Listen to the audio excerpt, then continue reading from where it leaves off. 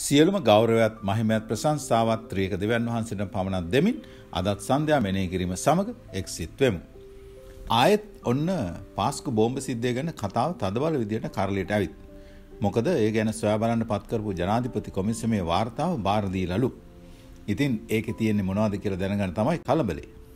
ප්‍රශ්නය නම් කිසිම ත්‍රස්තවාදී සංවිධානයක් මේ සිද්ධියට වගකීම බාර නොගැනීමයි. නමුත් විදේශ රටවල සිදුවෙන මේ වගේ බෝම්බ ප්‍රහාර සමගම ඒවායේ වගකීම බාරගනිමින් යම් කණ්ඩායමක් ප්‍රකාශ නිකුත් කරන එක සාමාන්‍ය පුරුද්දක්. අපි ඒක කළේ we did it කියනවා. දෙදස් දහනමේ අප්‍රේල් විසියක සිදුවුණු මේ සිද්ධියෙන් සෙනග දෙසිය හැටනම දෙනකොට ජීවිත අහිමුණා. බෝම්භකරුවන් අට දෙනාට අමතරව. තවත් සියද ගණනක් ආබාධිතයන් වුණා. අදටත් සෙනග ඒ සිද්ධිය ගැන මතක් කරද්දි බයට පත්වෙනවා. එදා පාස්කු ඉරිදා දිනයක්. ඒ දිනවල අපි සීකරමි සිටියේ ඉතිහාසයේ සිදුණු කුරිරුතම ක්‍රියාවක් තුළින් බය නොවෙයි සමාධානයත් සුවයත් ගෙනා සිද්ධියක් පිළිබඳවයි. සියලු කුරිරු ක්‍රියා ගෙනෙන්නේ බය තමයි. ඒ වුණත් මේ කුරිරු ක්‍රියාව ගෙනාවේ සමාධානය සහ සුවයයි. මේ ක්‍රියාවන් වල වගකීම බාර ගැනීම ශතවර්ෂ ගණනාවකට පෙරම සිදුවී තිබුණා. ඒසාය දෙවසිවරයාගේ අනාගත වාක්‍ය තුල දෙවියන් වහන්සේ මෙහි වගකීම බාරගෙන තිබුණා.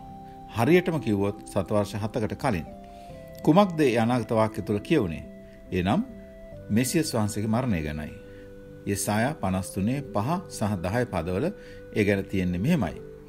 උන්වහන්සේ තුවාල ලැබුවේ අපේ අපරාධ නිසාය. පොඩි කරනු ලැබුවේ අපේ අයුතුකම් නිසාය. අපට සමාදානය ගෙන දෙන දඬුවම උන්වහන්සේ පිටට පැවුණුනේය. උන්වහන්සේගේ පහරවලින් අපට සුවය ලැබී තිබේ. එහෙත් උන්වහන්සේ පොඩි කරන්ට ස්වාමීන් වහන්සේ කැමතිව දුකට පත් කළ සේක කියලයි.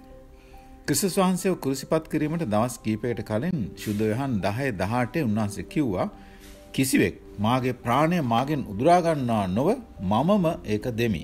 ඒක දෙන්න මට බලය තිබේ. මේ ආඥාව මාගේ පියාණන් වහන්සේගෙන් ලදිමි කියලා. අපේ පාප උදෙසා ක්‍රිස්තුස් වහන්සේ මරණයට පත් වුණේ කැමැත්තෙන්මයි. උන්වහන්සේ තුළ ඇදහිල්ල කරන කොටගෙන අප ජීවනය ලබන පිණිසයි. පියාණන් වහන්සේ උන්වහන්සේගේ පුත්‍රයන් වහන්සේගේ මරණය පිළිබඳ වගකීම බාරගෙන තිබෙනවා. කැමති කෙනෙකුට ඒ තුළින් උන්වහන්සේගේ සමාවදීමේ දීමනාව ලබා ගැනීමට ඉඩ සලසමින්. අපි යාඥා කරමු. ආදරණීය දෙවියන් වහන්ස ක්‍රිස්තුස් වහන්සේගේ මරණය කරන කොටගෙන අපගේ පාපවලට සමාවදී අපෝ ශුද්ධවන්තයන් බවට පත් කළ නිසා ඔබ වහන්සේට ස්තුතියි. එලෙසම උන්වහන්සේගේ නැවත පැමිණීමේදී උන්වහන්සේ මුණ ගැසෙන පිණිසද අප සූදානම් කළ මැනව. ආමෙන්.